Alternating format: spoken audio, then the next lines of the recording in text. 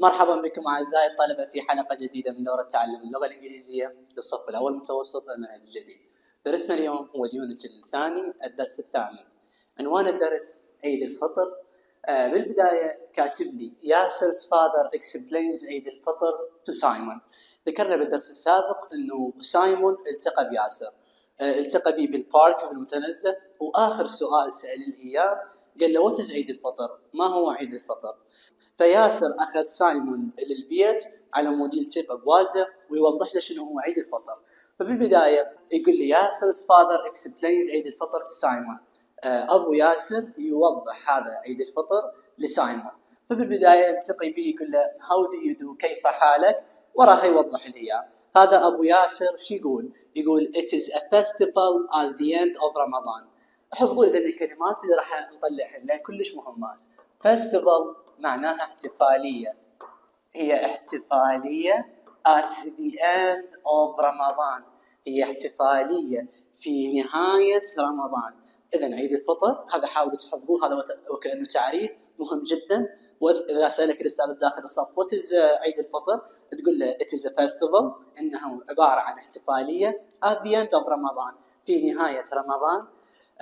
what is رمضان هنا ساله سؤال ثاني قال له زين هو شنو رمضان؟ فيجاوب إن رمضان في رمضان we fast خلينا نطلع هاي الكلمة. هنا كلمة fast معناها يصوم. يقول له إحنا برمضان نصوم. From during the day خلال اليوم. From dawn dawn معناها الفجر. Dawn معناها الفجر. نحن نصوم خلال اليوم. من الفجر to dusk. Dusk شنو معناها؟ Dusk معناها الغسق الغسق أو المغرب. اذا برمضان هو عبارة عن صيام. إحنا ما ناكل ولا نشرب طوال اليوم. من الدون من الفجر تداسك إلى المغرب أو إلى الغسق. وراها منطيني هاي الصورة. يوضح له. وهنا دا يتأمل ياسر. وراها يقول له we break our fast نحن نكسر صيامنا. أو نحن نفطر. هنا ال break معناها نفطر.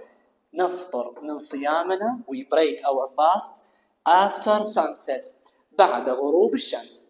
اذا sunset هم نحاول تحفظوها كلمة مهمة جدا. sunset معناها غروب الشمس. طبعا ذني الكلمات بعد قليل راح تفيدنا خصوصا لما يسألني ما هو رمضان ما هو عيد الفطر إلى آخره. فبالبداية دا يوضح لي أو دا يوضح السايمون إنه عيد الفطر هو احتفالية في نهاية رمضان. رمضان نصوم خلال اليوم إلى آخره. اذا الفقرة الأولى المطلوب من عندك تحفظ ضمن المعاني ذا معاني ضمن الكلمات وتحفظ ما هو رمضان شنو تعريف رمضان أو عيد الفطر وتعريف رمضان. يعني هذا تعريف عيد الفطر it is a festival from the at the end of رمضان. إنها احتفالية في نهاية رمضان. أما رمضان we fast during the day. نحن نصوم خلال اليوم from dawn to dusk من الفجر إلى الغسق وراها شو يقول لي؟ يقول لي listen and look. استمع وانظر. At the pictures إلى الصور then work out the meaning of the words. ثم قم بمعرفة هذه الكلمات. طبعا هنا يقول لك تقدر تعرف كمثال. معنى كلمة fast استنى طلعناها fast معناها يصوم. دون قلنا دون معناها الفجر. Dusk الغسق وهكذا. الفستيفال احتفالية. Break our fast نفطر. فهنا شو يقول لي؟ يقول لي تقدر تعطي معاني هاي الكلمات؟ طبعا هو ما يريد معانيهم باللغة العربية. وإنما شوف هنا منطيني فقرة خاصة. يقول لي listen and look at the pictures then work out the meaning of the new words. قم بمعرفة معاني هذه الكلمات. شوف ال fast يقول لك أنا أقدر أنطيك تعريف كلمة fast تعريفها باللغة الإنجليزية؟ طبعا مو باللغة العربية. أنا اعطيك تعريفها باللغة الإنجليزية. تقدر تعرف هذا التعريف تابع لي كلمة؟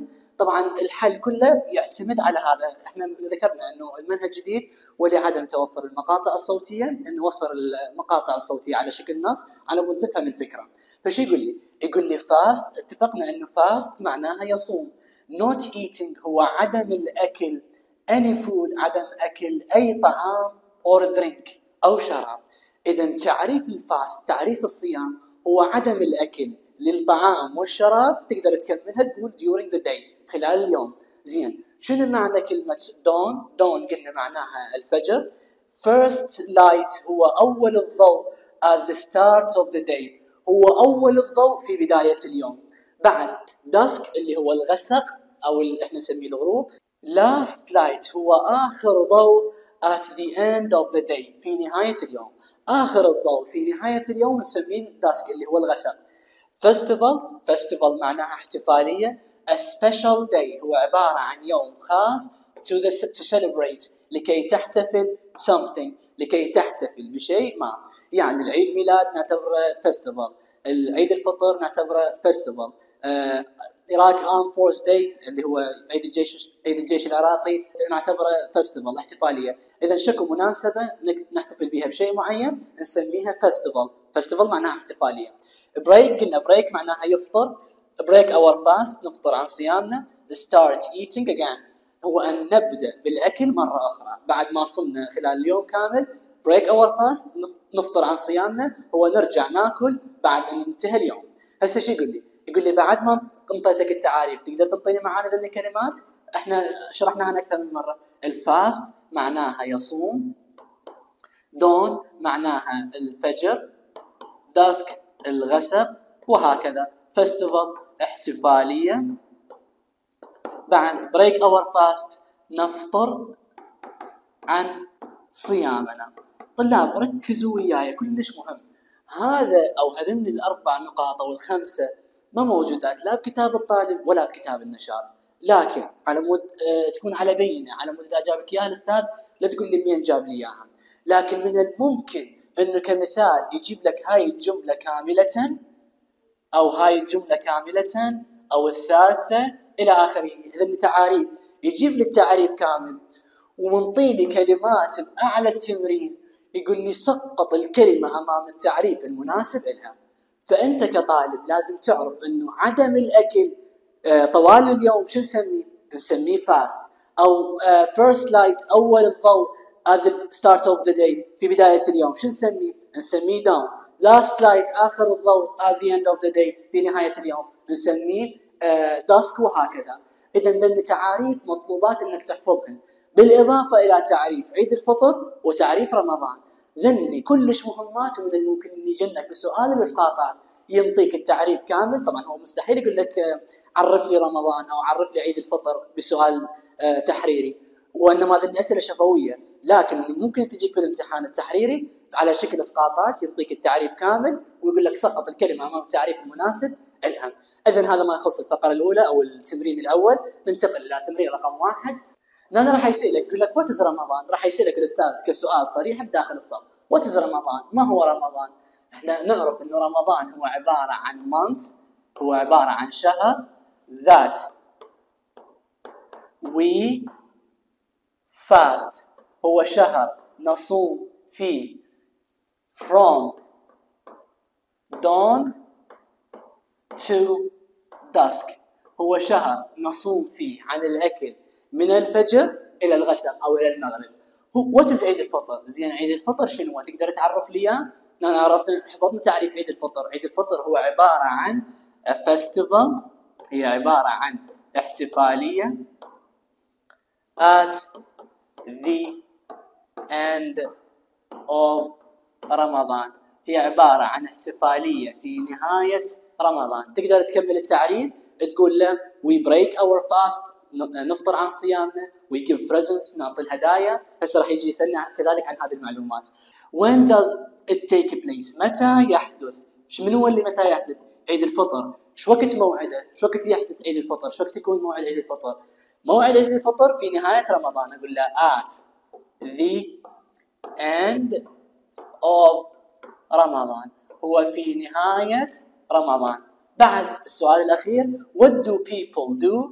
ما الذي يفعله الناس at عيد الفطر؟ في عيد الفطر. إحنا بعيد الفطر شنو هو الفعاليات أو الاحتفالية اللي نسويها؟ شنو نسوي؟ Give presents نعطي الهدايا هذه أول شغلة إحنا نسميها العيديات. وبعد وكذلك give money نعطي الأموال to poor people إلى الناس الفقراء إلى آخره.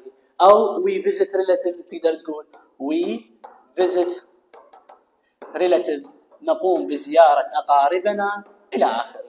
هاي الأشياء اللي يسويها الناس في نهاية آه، رمضان اللي نسميه عيد الفطر. هذا التمرين آه، تمرين كنشاط صفي. أستاذ ممكن يجيني بالامتحان التحريري؟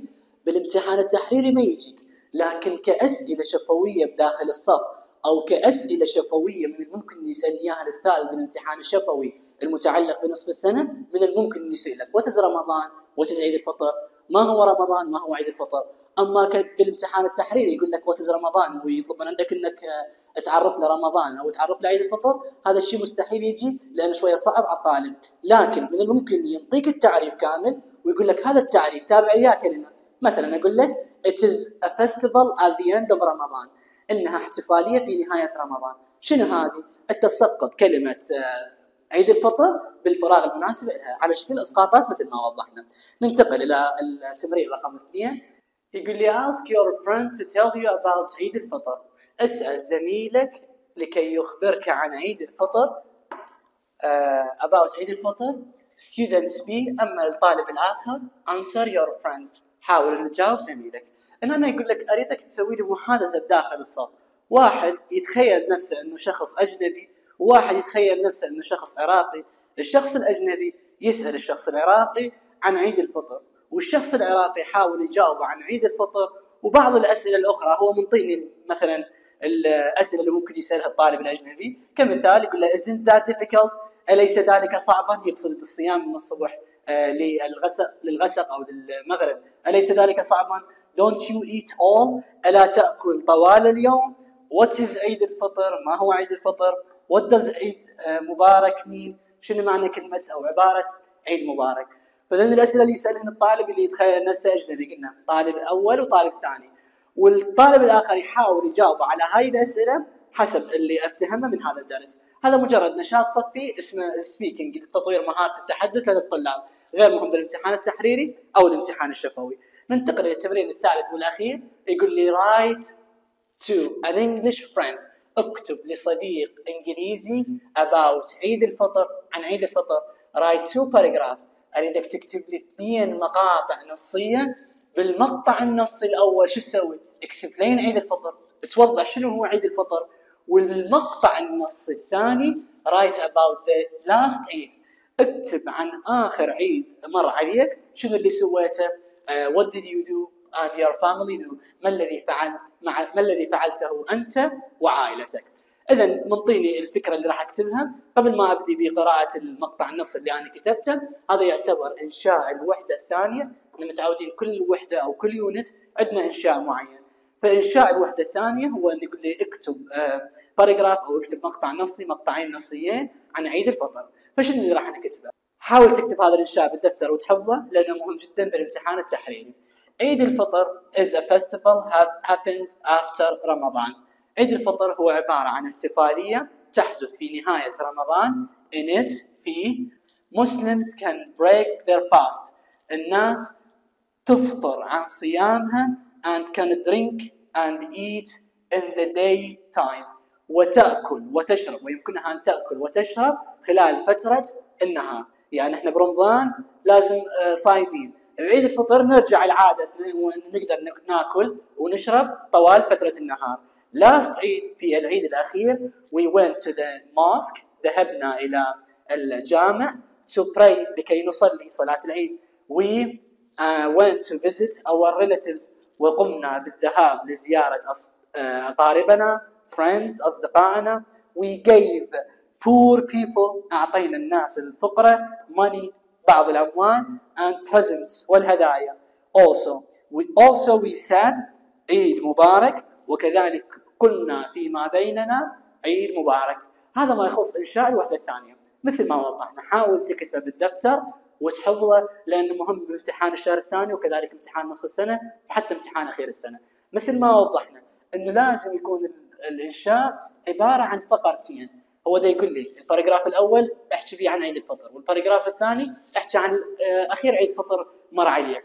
فأنت لازم ال paragraph الأول من ينتهي تخلي نقطة وتبدي باراجراف جديد بحرف كبير. لأن هاي الأمور إحنا نعرفها من الابتدائية لكن للتوضيح أو للتأكيد أكثر. إنه يجب أن يكون أو يحتوي المقطع الإنشاء على مقطعين نصيان. ما يصير تدمج مقطعين تسوي له مقطع نصي واحد. هنا راح يعتبر مقطع نصي واحد حتى وإن كان آه، أنت كاتب به كل المطلوب من عندك بالإنشاء. هذا كل ما يخص درسنا لهذا اليوم. أخذنا ببعض التعاريف المتعلقة بعيد الفطر رمضان الأسئلة الشفوية اللي يسألها الأستاذ داخل الصف كتحضير يومي. وكذلك آه، حفظنا بعض التعاريف الأخرى كمثال كلمة break our fast dawn dusk إلى آخره. حاولوا تسجلوا معلومات بالدفتر وتحفظوهن لأنها مهمة جدا. وعرفنا الصيغ اللي ممكن تجينا بالامتحان وشلون نقدر نجاوب عنها. وآخر شيء أخذنا الإنشاء. كذلك هذا إنشاء الوحده الثانية هو تقريبا أهم آه، فقرة موجودة باليونت الثاني كله باعتبار عليها 15 درجة بالامتحان التحريري آه، بامتحان الشهر الثاني أو حتى امتحان نصف السنة. ختاما شكرا لمتابعتكم للفيديو أي سؤال أو استفسار أو إضافة تحبون تقدموها تقدرون تتواصلون على الحسابات الموجودة في أسفل الفيديو في الوصف